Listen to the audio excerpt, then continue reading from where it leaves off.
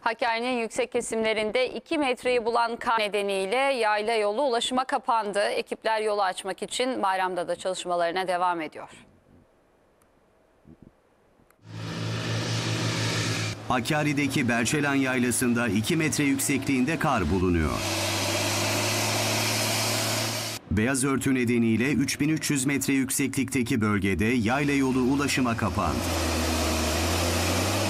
Karayolları ekipleri binlerce küçükbaş hayvanı ağırlayan yayla yolunu açmaya çalışıyor. Burada kış şartları çetin olduğu için imkanlar dahilinde açmaya çalışıyoruz fakat rakımın yüksek oluşundan dolayı gördüğünüz gibi bayağı bir kar kalınlığı var.